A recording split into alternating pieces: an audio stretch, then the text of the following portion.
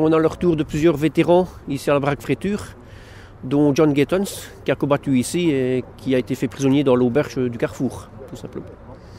Et euh, qu'est-ce que vous avez fait aujourd'hui? Ah, bah, Aujourd'hui, ils sont venus de peine, ils sont allés sur euh, Auton et La Roche et Oufalis, et tout simplement parce que dans le groupe, il y a aussi la fille d'un soldat qui a combattu dans la 84e division d'infanterie. Donc elle est venue déposer des fleurs euh, au monument de la jonction à Oufalis. Et puis ensuite de Oufalis, nous sommes montés sur euh, Bastogne, euh, au Mardasson. Vous avez été visiter le nouveau musée peut-être? Non, non, nous n'avons pas eu le temps. nous devions être ici plus tôt. Et... Oui, mais nous sommes allés au bois de la paix avant parce que John Gattons a justement son arbre et il voulait revoir son arbre.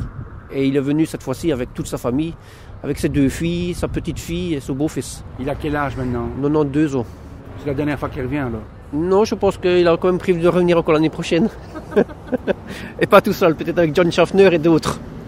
Vous étiez jeune, vous avez laissé tomber votre famille chez vous en Amérique sur base de l'appel de nos aînés, de nos grands-parents, de nos arrière-grands-parents ici en Belgique, en Europe. Um,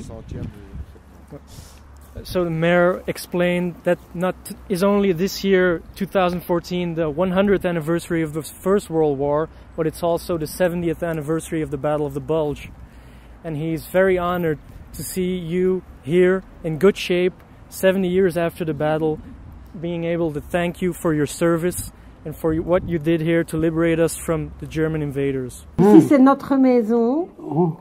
Eh, it's a house family from my mother. Euh, l'autre, c'était la famille Jacquet. Mm. Et l'autre maison, c'est celle qui était en face. Mm You remember? Yes. You remember? Yes. I was in that house when it looked like that. Yes.